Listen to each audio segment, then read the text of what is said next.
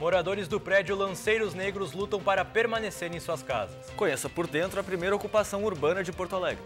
Confira também como estão as ocupações das escolas públicas no Rio Grande do Sul. Inundação faz conselho tutelar no bairro Sarandi atender na rua. Porto Alegrense apaixonado por histórias em quadrinhos mantém sebo na capital. E ainda, se programe com a nossa agenda cultural.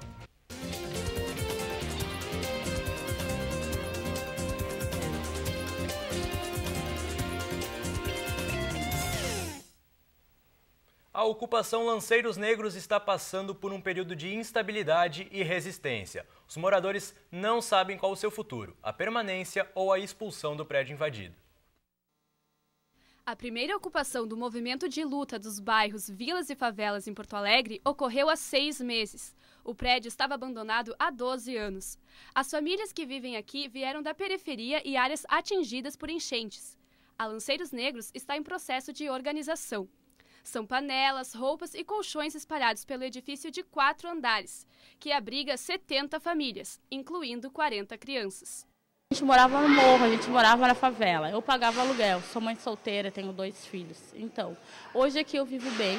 Infelizmente, eu não tinha oportunidade de estar dando um, um acesso à educação infantil para meus filhos. Hoje, meus filhos têm tudo. Aline, mãe do Arthur e do Raiz, defende que a Lanceiros Negros é também um projeto social, porque oferece mais do que apenas moradia. Aqui, aos sábados, eles têm, eles têm aula de boxe, os meus filhos eles têm acesso à natação, a nossa moradia, que é uma moradia saudável. Nós temos aula, as crianças têm acesso à aula de inglês, aula de espanhol. Inclusive, aqui é um espaço muito organizado. A gente tem hora para entrar, a gente tem hora para sair não entra droga, não entra bebida, não entra álcool. Então eles não têm um motivo real para nos tirar daqui.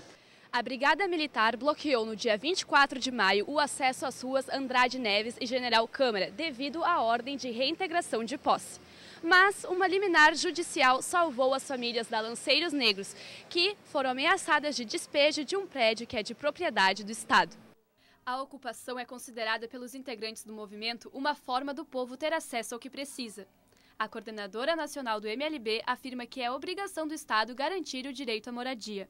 Um Estado, por lei, tem que fazer isso, tem que garantir moradia. E nem que ele procure as prefeituras ou o governo federal para fazer isso. Ele tem que garantir. Então, é, a gente sabe que tem o estatuto da cidade que está ao nosso lado. É, esse prédio estava sem função social. Era um, um, depósito chiquérrimo e caríssimo de coisas velhas estragadas do Estado, de máquina de escrever, de rato e de barata. Enquanto isso, Aline espera pelo destino da sua família, mas alerta que a resistência irá continuar. E não nada vai mudar, a nossa luta continua. Se eles estão achando que vão nos distrair para nos tirar daqui, com certeza isso não vai acontecer. Estamos firme e forte, lanceiros negros na luta. Os lanceiros negros ainda vivem, existem, estão aqui, ó, na Andrade Neves com a General Câmara.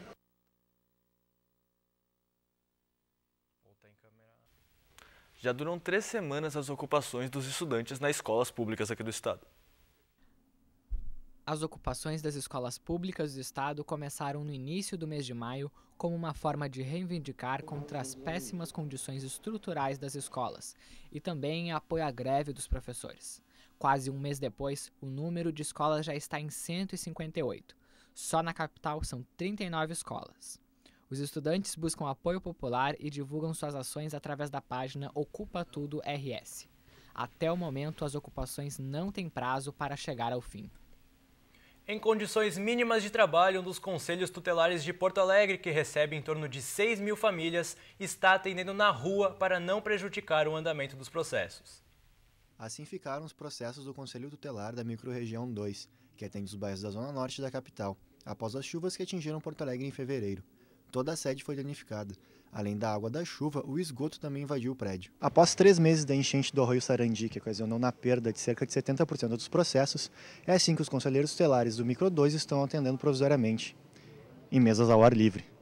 Neri Ferreira alerta sobre o risco da precariedade do atendimento. O Conselho Tutelar, nós queremos falar para a sociedade em geral que nós, como garantidores de direito, que o Conselho Tutelar é um órgão que garante, que faz valer os direitos da criança e do adolescente. Sendo que agora há pouco nós estamos violando com esse direito das crianças de não ter a condição mínima para atender, ter que atender aqui na rua. Cheiro forte, portas se deteriorando. São precárias as condições enfrentadas pelos funcionários da Micro 2. Nós mesmos uh, estamos fazendo uns varais bem no, no popular, colocamos uns, uns, cordões ali e colocamos uns expedientes para secar. Bem, bem nesse, nessa expressão, né? um varal. Sem uma previsão concreta da Prefeitura sobre a reforma do prédio, os conselheiros estelares do bairro Sarandi não têm previsão da normalização do atendimento. E uma boa notícia para os estudantes que fizeram o Enem no ano passado. Entre os dias 14 e 17 de junho estarão abertas as inscrições para o FIES, o Fundo de Financiamento ao Estudante do Ensino Superior. Se a sua nota ficou igual ou superior a 450 pontos, você já pode concorrer a uma vaga. E o resultado dessa chamada você pode conferir no dia 20 de junho. Quem passou pela Avenida Ipiranga na tarde da última quarta-feira viu uma situação inusitada. Um caminhão carregado com uma lancha ficou estacionado durante todo o dia no cruzamento da Rua Santana com a Ipiranga. O problema ocorreu devido a uma falta de autorização da EPTC para o transporte da lancha que partia da Zona Sul até o Guarujá, em São Paulo. O barco foi escoltado pela polícia até a BR-290. O motorista foi multado. E no próximo bloco você vai conhecer o super-herói gaúcho. E também as dicas da nossa agenda cultural. Fique com a gente.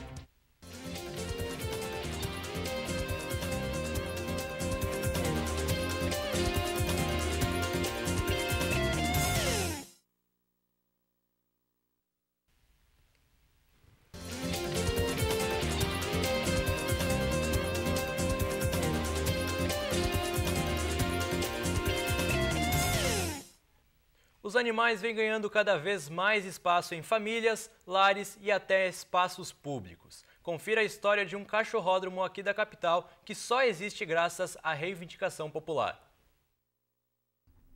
As praças costumavam ser um local de lazer exclusivo para pessoas, mas com a inclusão dos animais, essa realidade tem se alterado. Lugares mais seguros para o divertimento de cachorros, chamado cachorródromos, vem se espalhando nos últimos anos por Porto Alegre. Hit, esse cachorrinho brincalhão que você está vendo aí, sai pela primeira vez depois de sofrer um acidente. Eu tive problemas já, o meu, meu cachorro ele foi atropelado uma vez e, e foi um problema, teve que fazer fisioterapia, aquela negocinho que dava choque. E era ruim mesmo, era, ele ficava, eu nunca soltei ele depois ele foi atropelado, né? Só agora, hoje, primeira vez que eu estou soltando ele aqui, a obra de restauração do Monumento dos Açorianos servia como um cachorródromo provisório, até que um dia a cerca foi derrubada e o ambiente de socialização dos animais acabou. Mas a história não termina por aqui. Em janeiro, quando a gente voltou das festas, descobrimos que a cerca estava derrubada, né? Eles estavam derrubando porque eles iam consertar esse monumento. E aí a gente começou a, a, a falar em rede social, assim, olha, e o nosso espaço, porque para quem mora em apartamento e tem os cachorros em casa, a gente precisa de um espaço para que eles liberem essa energia. Foi então que os moradores da região pediram ajuda à vereadora Lourdes, que é engajada com a causa animal e ajudou a construir um espaço no largo apropriado para os cães.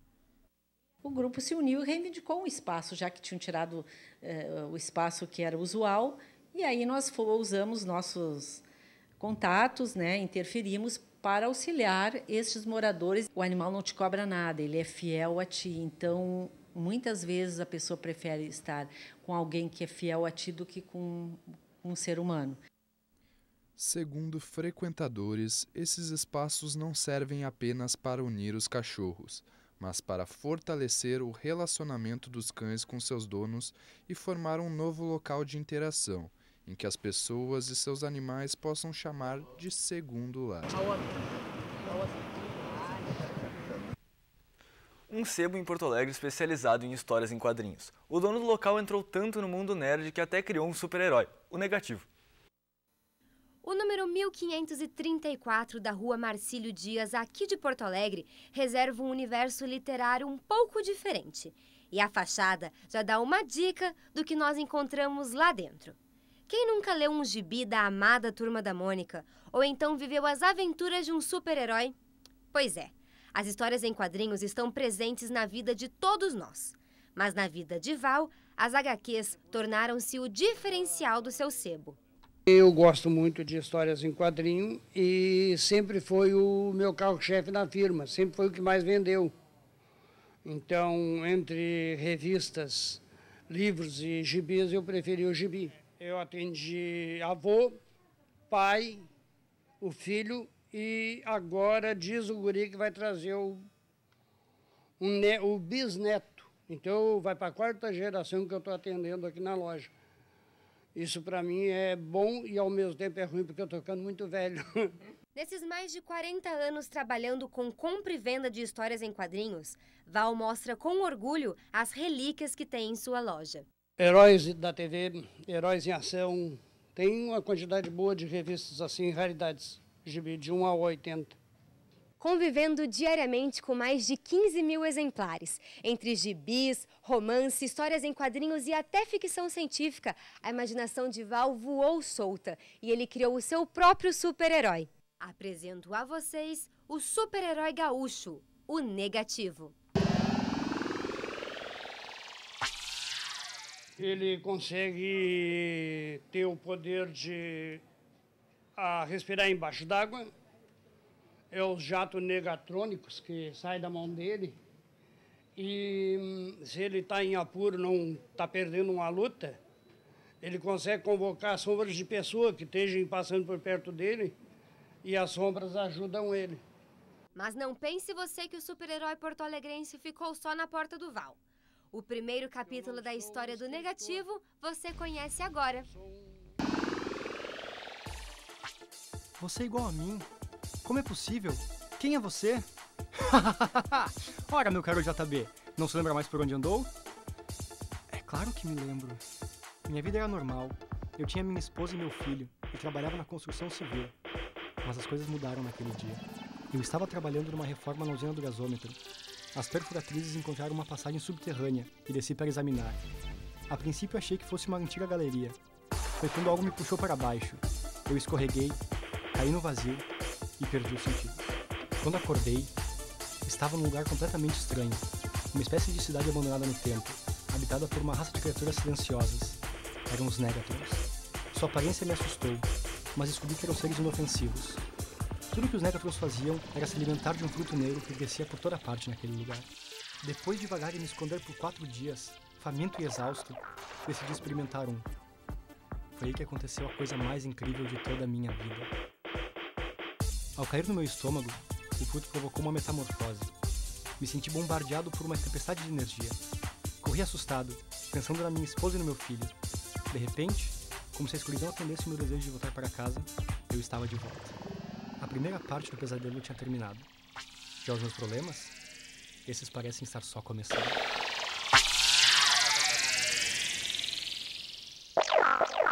Você sabe o que é o Gigante Ball? O evento acontecerá no estádio Beira Rio, aqui em Porto Alegre. Veja detalhes deste e de outros eventos na nossa agenda cultural. Dia 18 de junho, às 18 horas, ocorrerá o Gigante Ball. O evento, além da final do Campeonato Gaúcho de Futebol Americano, contará com atrações como shows nacionais, atrações gaúchas e entretenimento. O valor do ingresso antecipado é 30 reais. Segue até dia 19 de junho a exposição sobre o Holocausto na Galeria dos Arcos da Usina do Gasômetro. O projeto é intitulado Viventes e tem como objetivo fazer um inventário dos sobreviventes do Holocausto que vivem hoje no Brasil. A entrada é franca.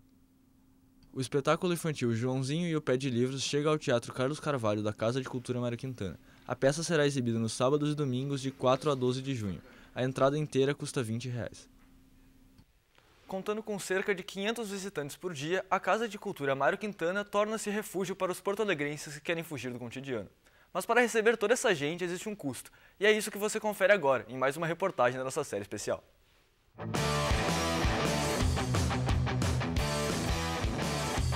Tá vendo todo esse movimento no centro de Porto Alegre? Pois é, muita gente quer fugir dele. E é o que fazem muitos visitantes da Casa de Cultura. O casal Marene e Thiago fazem da casa um refúgio, pelo menos duas vezes na semana. A Casa de Cultura oferece essa livre entrada e saída, né? além de ser um lugar bonito, poético e que é uma paz assim diferente no centro da cidade. Mas toda essa tranquilidade tem um preço. Equipes de segurança, limpeza e manutenção trabalham diariamente para receber os cerca de 500 visitantes que passam por aqui todos os dias. E para pagar essa conta, o governo do estado disponibiliza uma verba de 40 mil reais para a Casa de Cultura. Este valor mensal é um patrocínio do Banrisul. O custo de manutenção da casa é de aproximadamente 18 mil reais por mês. O restante do dinheiro é usado no pagamento de cachês de artistas, oficinas e custeio de viagens, além de eventuais reparos estruturais. É um dos grandes incentivadores para vários grupos que hoje são profissionais e que utilizam da casa, grupos amadores e alguns grupos que estão iniciando, né? estão começando a sua caminhada e que vêm para cá e que ensaiam nas salas, que ensaiam nos teatros, que ensaiam nos corredores e que utilizam a, a Travessa dos Cataventos para fazer suas montagens. Ela tem uma vida de 24 horas, 7 dias por semana, é, respira arte o tempo todo. E não é só para grupos. Artistas plásticos também são incentivados pela casa. Eu vim no meio, do ano, no meio desse ano e apresentei o projeto para o diretor da casa. E eles gostaram do projeto, se adequava com o espaço, com a proposta da Casa de Cultura. E aí eles me cederam o Espaço Majestic no térreo para eu trazer um pouquinho sobre a história da minha cidade, a cultura, a identidade missioneira de São Borja. Não tem custo para eu trazer, a casa não me, não me cobrou nada de aluguel, nem taxa de limpeza e nem para visitar a exposição. A entrada da exposição é franca também. No final de 2014, foi finalizada a reforma externa do prédio. A fachada, sacadas e adornos deram um novo ar à casa, o que aumentou o número de visitantes. A busca agora é por verbas para a revitalização interna. A gente tem algumas questões que são prioridade, né, que é sim a reforma hidráulica, é a reforma hidra elétrica, né? É toda uma situação de uh, cuidados assim que precisam ser uh, modernizados para o conforto do público. O custo da obra está orçado em 3 milhões e 800 mil reais e já está garantido pelo Banrisul. É uma síntese dessa casa, é, de uma instigação cultural permanente. Evidentemente que ela tem que ter estrutura, pessoal atendendo sempre, né? tem que ter recursos que são recursos públicos das três esferas, né? Federal, estadual, municipal e, evidentemente, também da iniciativa privada, por que não? Né? Contanto que a política cultural aqui da casa seja definida no interesse efetivamente público. A maioria das atividades é gratuita, um motivo maior para visitar a casa. Acesso à cultura é muito importante e aqui é um marco. E eu acho que todo mundo deveria vir visitar sabendo que não vai ser impedido de entrar por algum motivo. O fato de ser gratuito eu acho muito importante para o desenvolvimento de Porto Alegre. Para os cinéfilos de plantão, uma atração são as três salas alternativas de cinema. E o valor da bilheteria é de apenas 12 reais. Geralmente são filmes que não estão tanto no circuito comercial de outros cinemas. São uh, filmes mais específicos, de uh, fora do circuito habitual do cinema americano, por exemplo. Parafraseando Quintana, antes todos os caminhos iam, agora todos os caminhos vêm. As portas da casa estão sempre abertas. De graça ou quase de graça, o que os visitantes querem mesmo é aproveitar toda essa tranquilidade. O Editorial J na TV de hoje fica por aqui. Continue nos acompanhando nas nossas redes sociais.